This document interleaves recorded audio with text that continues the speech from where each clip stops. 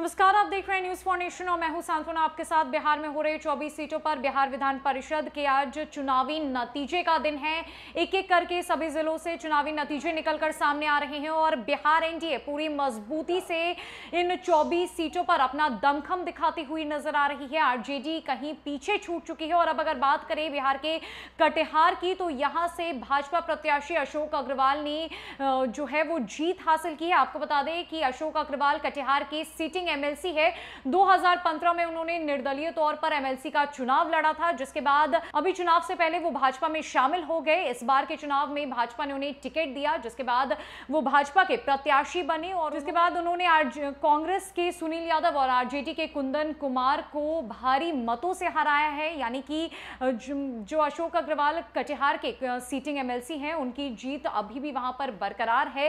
पहले वो निर्दलीय थे जो है वो निर्दलीय तरीके से उन्होंने चुनाव जीता था और अब भाजपा में शामिल होकर उन्होंने चुनाव जीता है।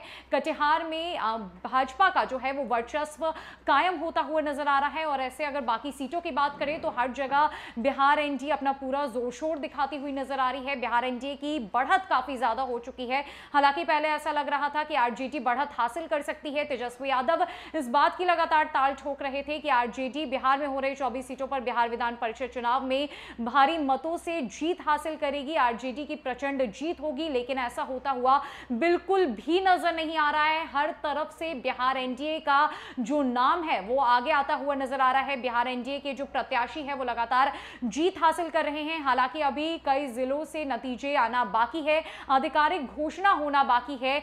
लेकिन हमने बात की है कटिहार की तो कटिहार की सीटिंग एमएलसी, जो पहले निर्दलीय तौर पर चुनाव लड़े थे और अब भाजपा के प्रत्याशी के तौर पर चुनाव लड़ रहे हैं, उन्होंने जीत हासिल कर ली है। उन्होंने कांग्रेस और आरजेडी को कहीं पीछे छोड़ दिया है। तो फ़िलहाल के लिए इस अपडेट में इतना ही। है ना कई अपडेट्स के लिए हमारे साथ बनी रही न्यूज़ फाउंडेशन में। नमस्कार।